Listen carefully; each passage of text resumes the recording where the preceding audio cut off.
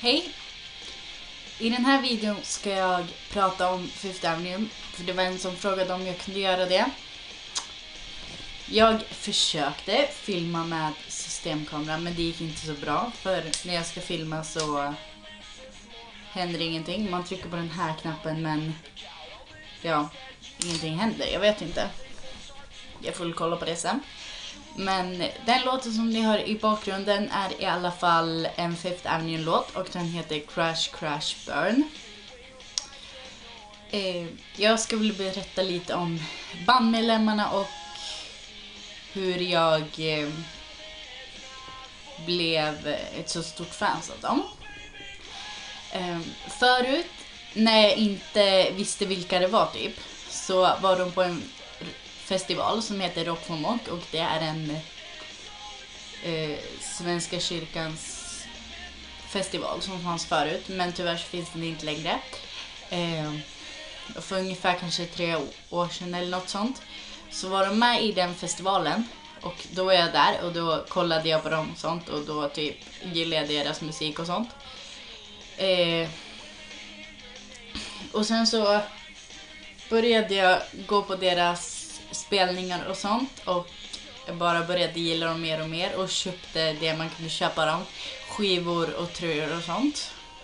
Jag har två stycken skivor och tre stycken tröjor. En lila och en svart, de är likadana fast olika färger och en vit. Och sen har jag en blå tygväska och sen två skivor som sagt.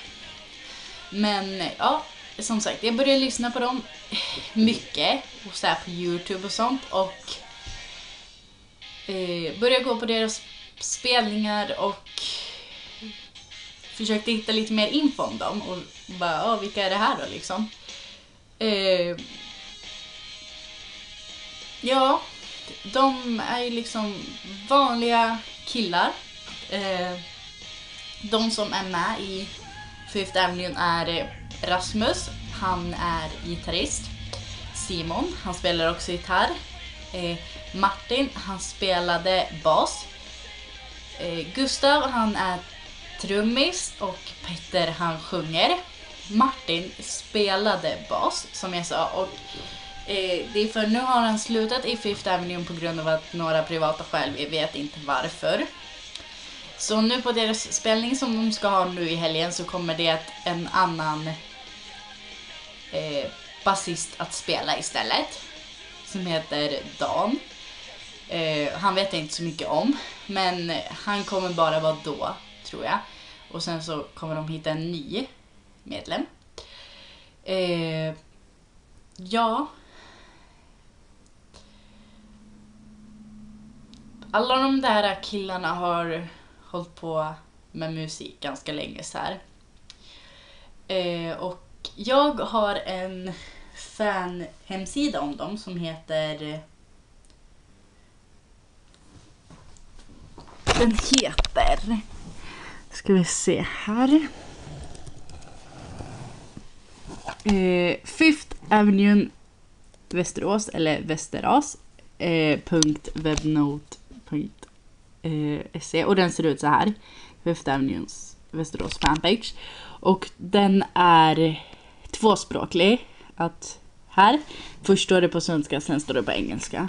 Och sen här är en bild. Här står det liksom att Hej, jag måste tyvärr meddela att Martin Boom ej kommer att vara med i Fifth Avenue mer. På Fifth nästa spelning så kommer Dan Sundström att spela bas och framöver vet vi inte hur det blir. Vi hoppas att Pander hittar en ny basist. Och sen står det samma sak på engelska. Sen så kan man gå in här och läsa lite om medlemmarna och sånt.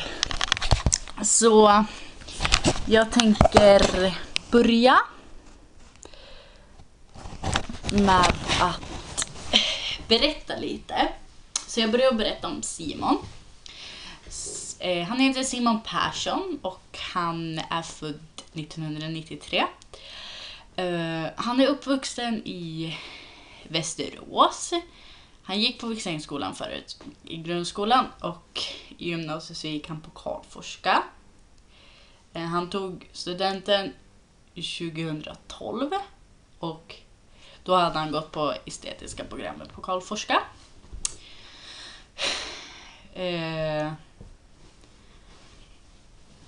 just, han jobbar på VLT tror jag. Och så. Eh, ja. Lite kul fakta är att han föddes på, i, Lon på, i London för att de var tvungna att mellanladda. Så, de, så han är typ från London, eller vad man säger. Ah, ja, eh, ska vi se här.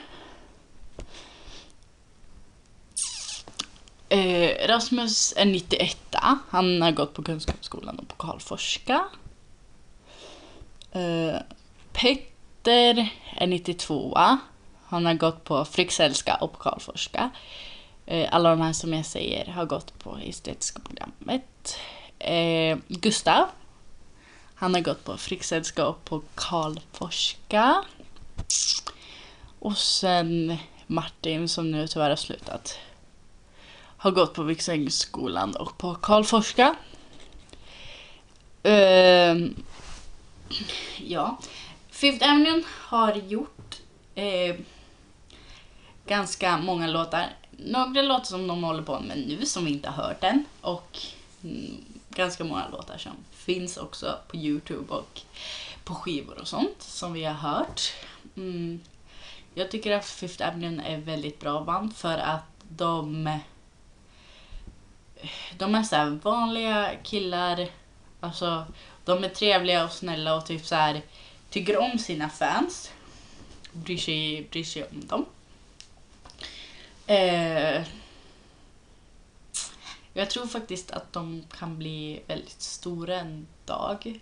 Och det tror jag faktiskt för att de har liksom potential.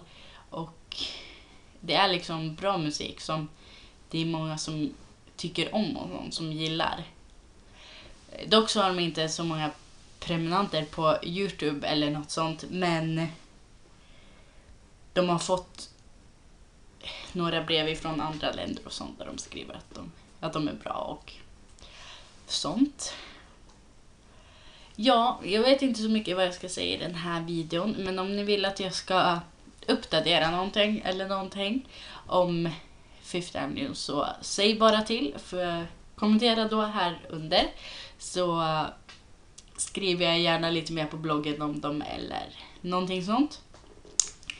Men prenumerera gärna på mig och gilla det här videoinlägget om ni tycker om, eller videoklippet om ni tycker om Fifth Avenue. Och lyssna gärna på deras låtar som finns på Youtube. Jag länkar det här under. Så får ni se där. Så syns, syns vi i nästa video. Hej